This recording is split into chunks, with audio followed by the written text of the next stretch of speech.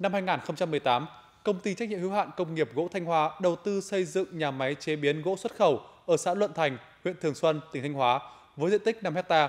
Với quy mô sản xuất này, Ủy ban nhân dân tỉnh Thanh Hóa đã có quyết định phê duyệt báo cáo đánh giá tác động môi trường của công ty.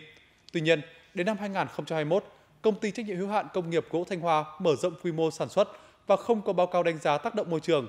Mặc dù cơ quan chức năng đã kiểm tra yêu cầu khắc phục, nhưng đến nay công ty vẫn chưa hoàn thiện bổ sung hồ sơ còn thiếu. Đây là khu vực được đầu tư mở rộng từ năm 2021 của công ty trách nhiệm hữu hạn công nghiệp gỗ Thanh Hóa. Tại thời điểm ghi nhận, khu vực rộng khoảng 4 hecta này vẫn đang hoạt động.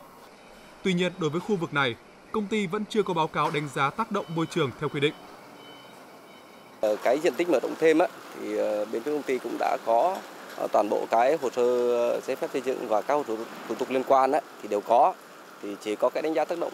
môi trường á, thì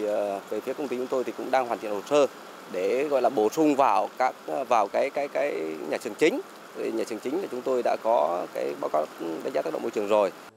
Cuối tháng 4 năm 2021, Ủy ban nhân dân huyện Thường Xuân đã lập đoàn kiểm tra về công tác bảo vệ môi trường của công ty trách nhiệm hữu hạn công nghiệp gỗ Thanh Hoa.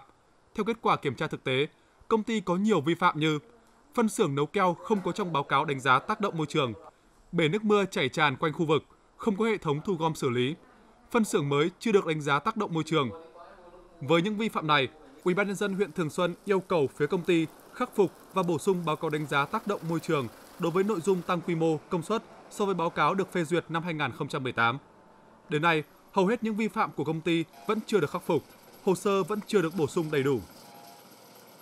Địa phương thì qua quá trình kiểm tra thì cũng nhắc nhở là đối với doanh nghiệp là phải thu gom à, ví dụ như là xử lý bằng ví dụ như máng để mình thu gom là không để nước nó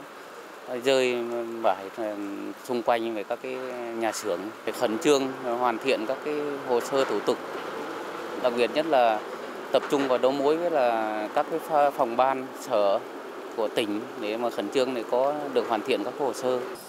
Hiện nay, Ủy ban nhân dân huyện Thường Xuân đang tích cực chỉ đạo và hỗ trợ công ty sớm hoàn thiện các thủ tục hồ sơ cần thiết, đồng thời khắc phục xử lý không để những vi phạm tiếp tục kéo dài.